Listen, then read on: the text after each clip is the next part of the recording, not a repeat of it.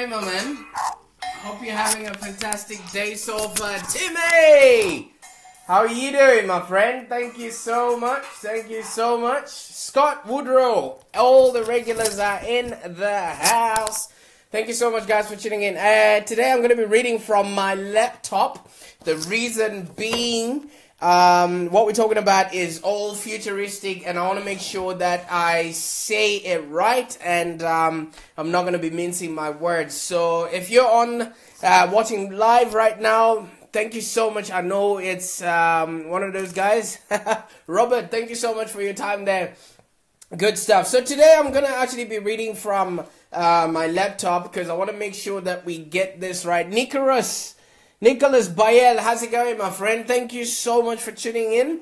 Um, I also have been informed by the guys that actually keep me safe, my legal team, uh, to say out this disclaimer. Um, you know, just so that any if anything goes wrong with this video today, uh, we are well and truly protected. All right. So if you can indulge me while I read this, while other people are tuning in, Adam AE, thank you so much for tuning in. Um, so this is what the legal disclaimer says. I'm going to read it also towards the end just so that we're all uh, in tune. So the views expressed in this video are my own and Livelong Digital is not liable for any loss of income or business during and after watching this 30 minute episode. Now the results you will get after this are based on individual effort and you have to put in the work um, just like the rest of us. And viewer discretion is advised. There's also a legal disclaimer that protects those that are going to share this video uh, with their families and businesses thereof. All right. So I just had to put this out there. Uh, you never know where this thing is going to end up, and people are going to start thinking that I told them uh, things that were not real. All right. Because today we're talking about things that you should look out for in 2018 especially on social media. So I'm going to be talking a lot about um, a lot of brands. That's the reason why we're putting out this uh, disclaimer out there. Normally, I always uh, try not to mention anyone's brand, anyone's uh, platform. The reason is there's a lot of legal connotations behind it. All right. So now that all that gobbledygook is out of the way, um, I just want to introduce the show today. We're talking about the trends that you should be looking out for um, in the year of our Lord uh, 2018. All right. So, as you would know, guys, everybody else that's tuned in right now, and people that are going to be watching this in post production, um, you know outright for a fact that I believe that every single business that's out there, every single online business, um, you know, should be uh, be profitable and enjoyable. That the people that are in those businesses should actually enjoy working in those businesses and they should actually make a profit with um, you know whatever they're putting out there. And I also believe that if you're a business person, you should be able to create for and relate to all of those people that you're going to be taking money off of. All right, and um, Naturally, I teach a four-step system uh, that many of you are now well versed with. It's called the Online Prosperity, um, you know, blueprint that is designed for coaches, consultants, service professionals um, like yourself to brand, market, and scale their businesses and services so that their businesses can generate a profit and they also enjoy that. Now, I also lead a team of well seasoned digital marketing experts um, under the banner of Livelong Digital, where we help small businesses like yourself to actually grow essentially through digital marketing strategies. That's the reason why today's show is going to be of utmost importance if your business is going to uh, see it through the the year 2018. A lot of things are changing. Um, you know uh, behind the scenes. So I just wanted to bring it out there for everybody else that's watching so that you too can have a business that's profitable and enjoyable. Nicole Saunders, thank you so much for tuning in. I hope you're not driving. And also let me know when you want to be included on the Online Prosperity Show. I definitely want people to know about your Tiger process and how you make people raw on social media. All right. So all all that I'm really trying to say, guys, is I want to inspire you to do the things that actually inspire you yourself. All right. So I did mention a few changes. I did mention um, that a few social media platforms are going to um, you know, undergo some sort of change or some trends to look out for. I've already put out a legal disclaimer. If you haven't heard it and if you're thinking that what I'm saying is out of whack, please watch the beginning of this show and um, you will be satisfied. All right. So, right. Suit up. Changes. What changes? We were getting comfortable with what Facebook is. We were getting comfortable with what Instagram uh, looks like. We were getting comfortable with what Snapchat looks like. We were getting comfortable um, with everything else that comes along with, um, you know, the way of life that social media has, um, you know, sort of um, been presented to us. All right. But it's that time of the year again where we actually have to reflect what worked in 2017, what do we need to ditch, and what's actually coming up in 2018. Because, like I said at the start of this show, guys, if you fail to plan, you plan to fail. All right. So I want you to grab a cup of coffee or whatever drink you're gonna indulge yourself in as we take a look at what's coming your way and you can get prepared um, you know, for the social media trends that are coming up in 2018, because we've been gathering all this information behind the scenes. We've been checking reports and some of the strategies, we've been trying them, we've been working on them and really trying to, you know, figure out what is working, what is going to work, what do we need to teach, and what do we need to go ahead with. All right. So grab a drink, grab a coffee, something. You're going to need it because um, I think this one is going to be one of the most valuable videos you've ever watched from this platform. Now, Bobby Williams, thank you so much for tuning in. Uh, Sola Javis, thank you so much, my brother, for tuning in. Um, everybody else that's just tuning in, can you just type in where you're logging in from so that we all understand and know who is who? And those that haven't watched the start of this video, please go back to the start when the video ends and watch it right from the start. There's a legal disclaimer that I've just put out there. All right. Now that you've grabbed your coffee, I've welcomed everybody else in the house. Today we're talking about the trends that we should look out for. Um, um, we should look out for in uh, 2018. And Mark Armstrong says, send replay. You always find it on my wall. I'm not going to send it to you, brother. All right. So before I reveal um, our findings of what's going to be happening in 2018, let's just have a recap of the trends that we sort of came across in 2017. All right. I don't know if any of you guys noticed that clients now anticipate a real time response in whatever you're saying, either it's your social media or your emails. Now the the, the, clients that we're dealing with, um, you know, are, are, are anticipating a real time response. All right. There's also organic growth in, in social networks like Facebook um, and Instagram has become harder and harder, especially for pages. All right. And ads have become the norm.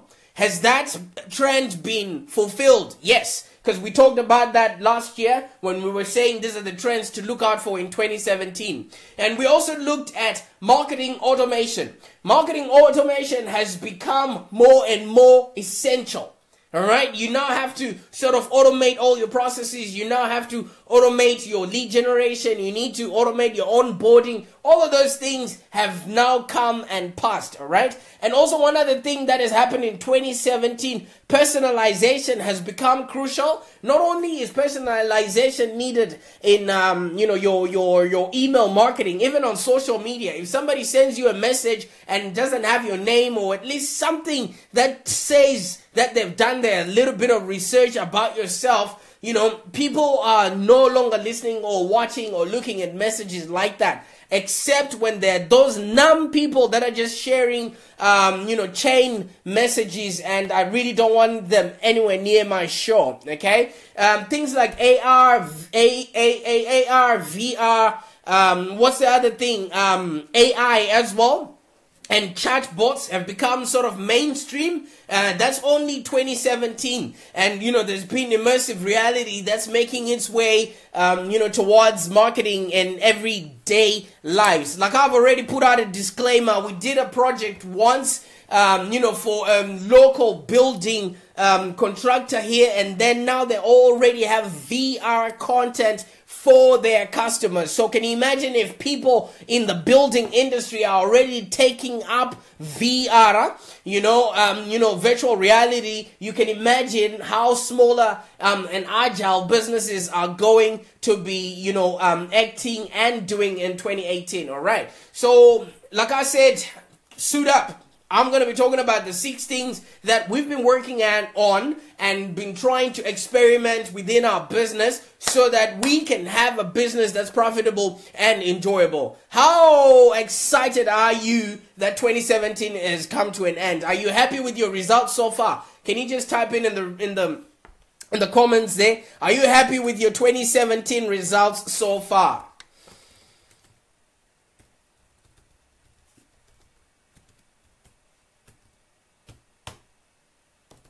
Alrighty, alrighty. Who's on? Robert, Barbara, thank you so much for tuning in. Uh, Nicole, not really. Nicole, I know why. Because yesterday you confused me about the thing that you're doing now. So if you don't stick with one thing, nobody's going to know what you do. It's going to be all over the place. And uh, Nicole is just getting started. I like that. Nicole Saunders.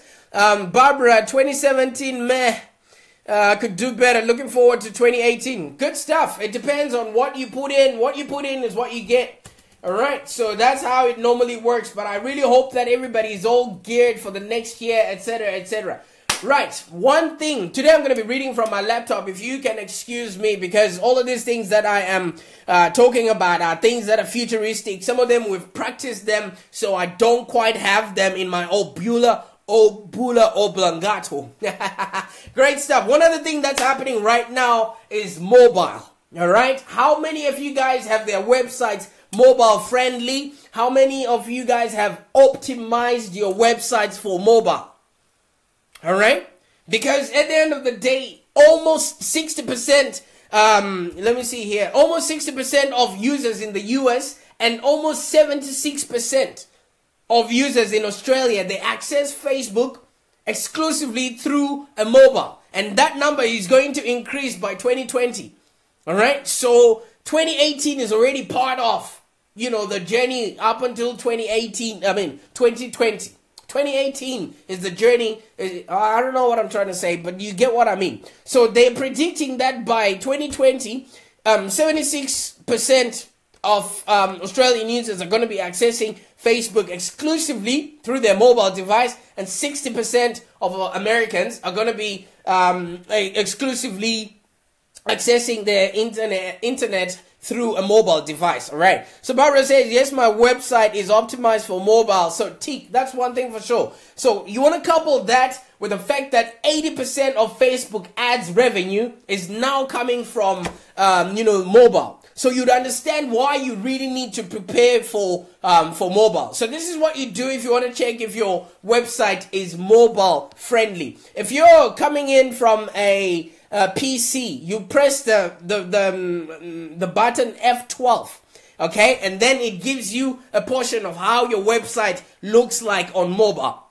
all right if you press f12 you will see how your website looks like on mobile. Or if you go to this email address, uh, website address, www.google.com forward slash webmasters forward slash tools forward slash mobile friendly. All right. So if you want this link, can you just type in mobile friendly and then I will send it through to you after the show. All right. So even more what you need to take account uh, into account guys is the fact that facebook is now one of the last social medias that is exclusively based on um, a, a, desktop. Most of the other ones like instagram uh, most of the other ones like snapchat you know all the other newer kids in the block they didn't even bother with getting a um, desktop version. All right? Yes jesse hart thank you so much. Thank you so much for that link. All right you see, Instagram didn't even bother to, to, to create a desktop version. Snapchat didn't even bother to create a desktop version. Alright? So, you know, what's that gonna tell you? So you wanna make sure that your website is definitely mobile friendly and you can check there's a link that has been put up there um, in the in the comments And you also want to make sure that your profile is also, um, your Facebook profile is also optimized for um, being mobile friendly because on Facebook you are allowed to put links to your offers, you're allowed to put links to maybe your LinkedIn or your Instagram, etc. etc. All of those things are allowed for you to do in your mobile profile. Okay, so you want to make sure that you've got that in check. You want to make sure that you've got things like that in place.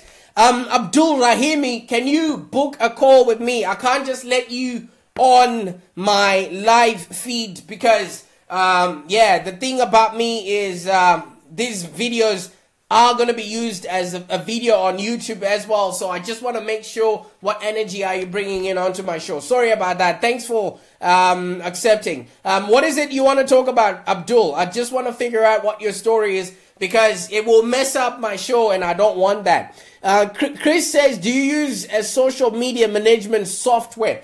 Yes, um, we normally do, but I've got a team behind the scenes, so I can't really say that um, whatever team there's there's um um uh, uh what what other tools do they use? Let me I, I can't endorse any tools. Sorry, Chris. Um, but I can talk to you a little bit later on. All right. Okay, so there we go. Another thing that you need to look out for in 2018 is personalization. All right. People now want stuff that actually speaks to them, is about them, and talks directly to them. All right? Three out of every sort of four users that are out there are now frustrated when an incorrect, um, you know, when incorrect content has been, um, you know, sent out there and it doesn't spell out their name, etc., etc. Exactly. That one that Jesse just wrote out there, he's the one, um, um, it, it, it's, it's the one that you can use.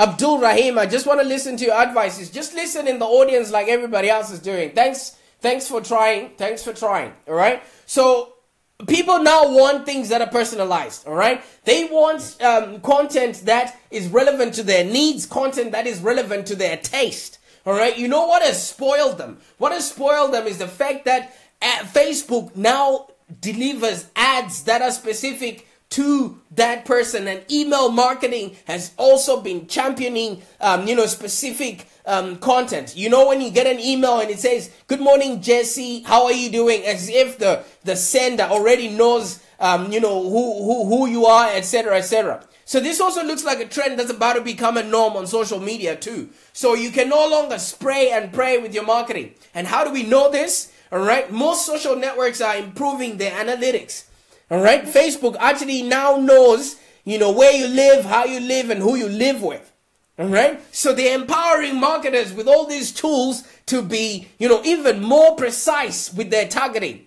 It's no longer relevant for you to go out and say you your target audience is is um, is the age group from 25 to 35.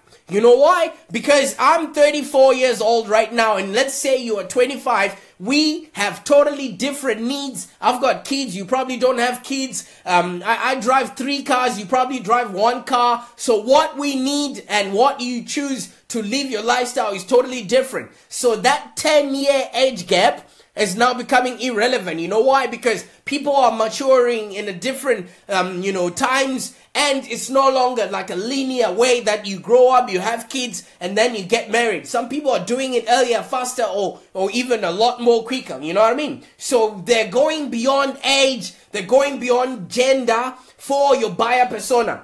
All of that is now already old news. So if your buyer persona right now is, is you're speaking to women that are between the age group of 19 to 29, you've already lost. Because there's a 29 year old who's a career woman who is not, you know, doing the same things or thinking the same way as a 19 year old, but you're sending the same message to, the, to those people. All right. So you want to tap into their lifestyles. Social media is going to be tapping into their passions with a lot of accuracy. And there's definitely something that you, um, this is something that's going to reshape how we market to people in general, not just on social media. Uh, Robert says, I'm a young man in an older shell, currently 50, but not counting. All right, good stuff. Yeah, but then the the the marketing people people that are marketing to you probably already know a lot more about you than you are willing to to to let off. This is a brand new world, all right? So it's now relevant that, you know, whatever content you're putting out there has to be personalized and it's a must. Because if you're not doing that, your competition is doing it. So you want to make sure that it, it, it, it, all ties in. People are not being held hostage in your uh, mailing list. People are not being held hostage in your friend list. If people no longer understand what the, you're talking about, don't hold them hostage in your groups because you know it's it's no longer a viable option. All right. This actually brings me to the next point, um, which is um, about social media trends for 2018. Social listening. Social listening is no longer an option. Now you really, really, really need to know who you are speaking to. You know, I'm sure you already know that social media is a two-way street. It's no longer speaking to a brand and, and, and, and you speaking to them. No, no, no, no, no. It's now the, the consumer and the, the, the, mm, you know, the business owner communicating mano y mano. All right. So you can't just simply automate the delivery of your post and forget about it. People need to be interacted with. People need to be spoken to. You need to engage. You need to respond. You need to ask questions. You need to identify the influences in your in your you know you know you know in your industry and so on. So social listening, you know, I'm not saying go in there and start consuming all the content that out there, but you know, it just helps you to get further than most people will. It shall it will help you to actually deliver the right kind of message at the right kind of time to the right kind of audience. All right? Now we're living in a in a 24-hour box what are you doing to keep your, um, you know, your brand top of mind to your prospects? So you gotta be listening to what are they listening to, who are they watching, and, and, and how are they contributing, and how do they want to be spoken to. That's a trend you gotta look out for, um, you know, in 2018. So, you know, more than, more than just monitoring, um, social listening is, is, is also gonna help you understand, um, you know, um, what truly matters to your audience. It's no longer a matter of you delivering what you think people want. No, people have to tell you what they want and you come back and deliver it to them. Do you know what I mean? Whether you need to be acknowledging, you know, a piece of recent news or just to speak about something, people need to understand that they are being understood. And like what uh, Scott is saying, listening equals understanding. Exactly. So that's what social listening is going to be. There's a lot of tools that you can utilize in order for you to actually um, listen to, to and get the scoop of what your customers are actually yearning for. Better yet, you can actually now start using um, you know this scoop to steal your your competitor's thunder. And in the end, it's now going to be about reaction and speed in 2018. How well prepared are you in your game to get those new leads when they're coming in? One of the trends that a lot of people need to be checking in on is how all these social medias are morphing into one thing.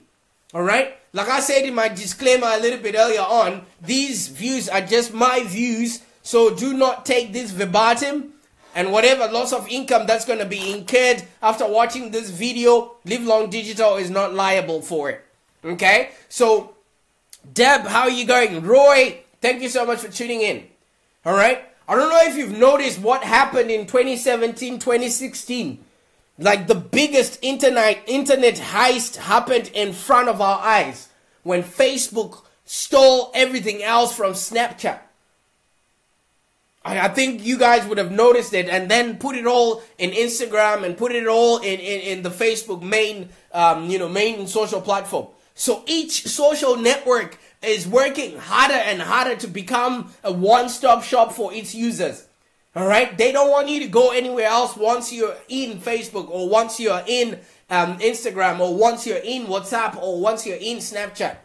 All right, so they want to be the one-stop shop for their customers and they also want to be the one-stop spend for all their marketers. So everyone is working on it. Even uh, LinkedIn has come up with video. LinkedIn has come up with all these things. YouTube is also trying to keep people within their own ecosystem. This is why all these social media uh, platforms are borrowing similar features from each other. You know, Instagram introduced um, Instagram stories, which was, you know, something that we was introduced by Snapchat.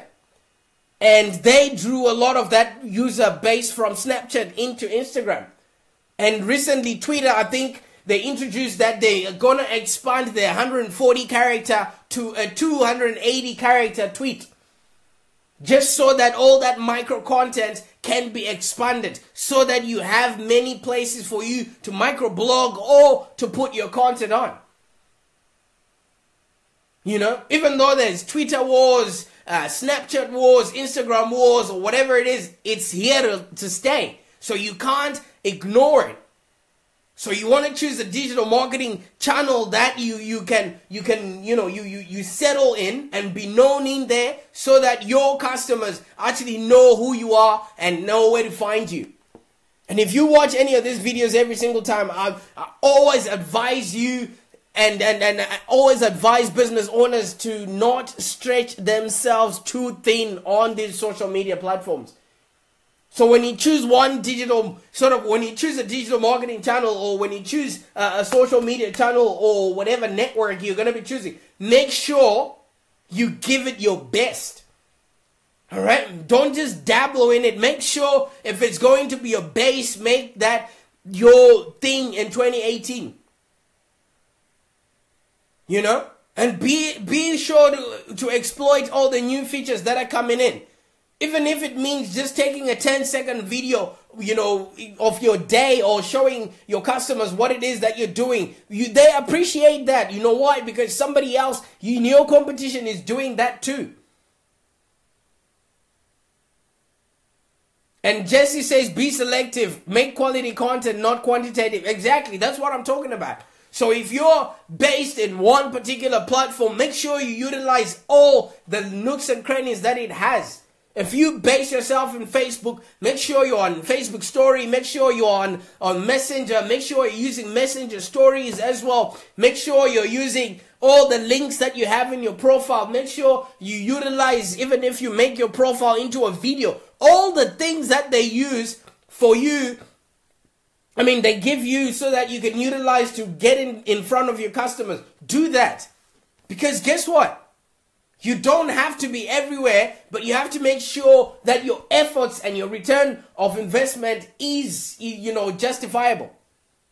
I'm not saying you can't test other networks, but be known to be somewhere. Find a base for yourself and make sure that you're the best in your industry in that in in, in on, on on that platform. All right? And one other thing we shouldn't forget is video, guys. Next year, 2018, video will continue to reign supreme. Either it's going to be Facebook Live like this, either it's going to be um, the microblog um, video, you know, your, your Instagram stories, um, your, um, you know, the, your, your, your, your, what do you call it? Your page cover photo is now a video as well. All of those things should be telling you that video is coming to stay. And recently, Facebook just purchased um, rights to you know you know have their own sort of TV um, you know offshoot of of YouTube called Facebook Watch. I'm waiting for that to be um, opened up to, to, to Australia so that this lunch and learn can be, um, uh, um, you know, a, um, a show that is directly viewed from Facebook Watch. All right. So you want to make sure that your video game is strong. There's other companies like lumen5.com that are helping you create video from your blogs. All right. So you want to look into all of those things because speaking of Instagram stories and Facebook Messenger stories, all of those micro blogs are touch points in which your customers can see your authenticity, can actually get to hear more of what you have to offer. You know? And Instagram stories, it turns out, are actually really good for companies to implement. You know, a lot more people that I know, they're actually utilizing them. And it's a trend that is expected to grow in 2018. So it's no longer about the 16 year olds anymore that are just taking selfies about themselves during the day. You as a business, you also need to be, um, you know, doing the, you know, that micro blogging. Show people little tidbits of your day so that they know that you've got their best interests at heart.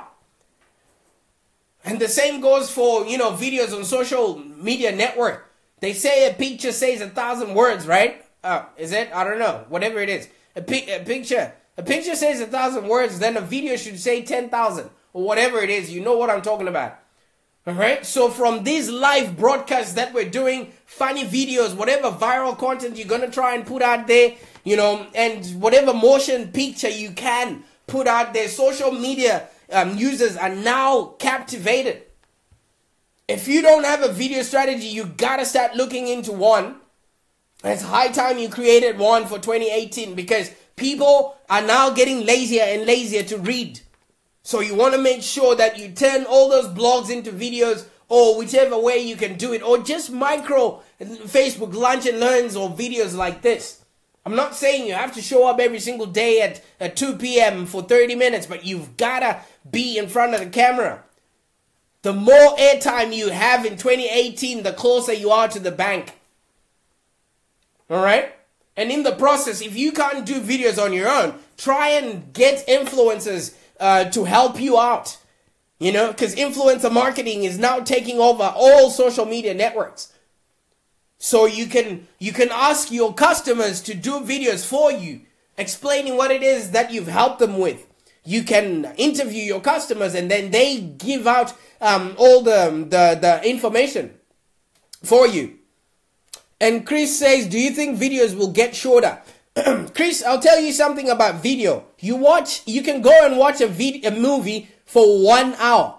Or you can watch a one minute video that would bore you to death. So it's all about content. It's not about quantity. It's not about length. It's not about whatever it is. It's about content.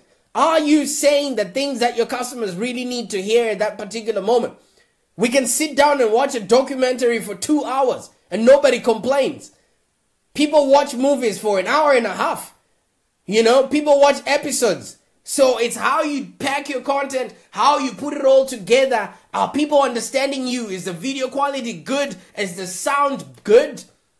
This is the microphone I'm using for this show right now. It's all just tapped into the phone and I'm using the microphone here. You know why? Because that's how you get really good quality sound.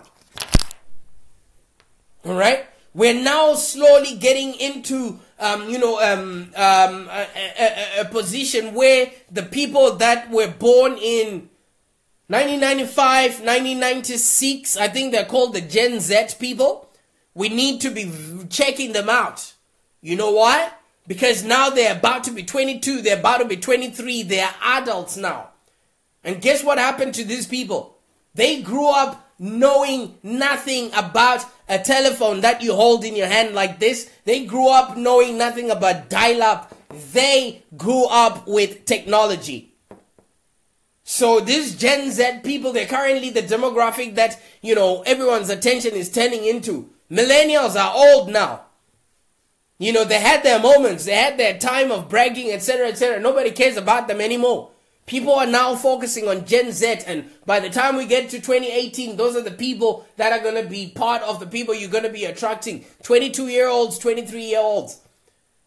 Which means many of them have already sort of entered the workforce. They're the ones that are now the bosses, they're the ones that are now the entrepreneurs. If they haven't entered, many of them will be entering soon. All right? so guess what happens in 2018? These Gen Zs they have a larger purchasing power. You know, they're now starting to receive a lot of attention from you know all these social media experts, all these marketers, all these businesses. This is the first generation, the Gen Zs, the people that were born from 1994, 95, 96, 97. They were the first digital natives. So you understand that they know their gadgets, their, their iPads, they know their apps like the back of their hand. So you gotta make sure that, you know, they, they you, their moms were going to work and they were watching vines on phones by the time they were they were they were breastfeeding. You know? So they entered a world of technology and you know they, they're gonna demand more. So you want to take them into consideration. They're looking for sustainable brands, they're looking for eco activists, they're looking for social involvement. So in a nutshell, they will buy from brands that actually share their interests. They're not going to buy from a brand just because it's tried and trusted. They're going to buy from a brand just because of how it represents itself online.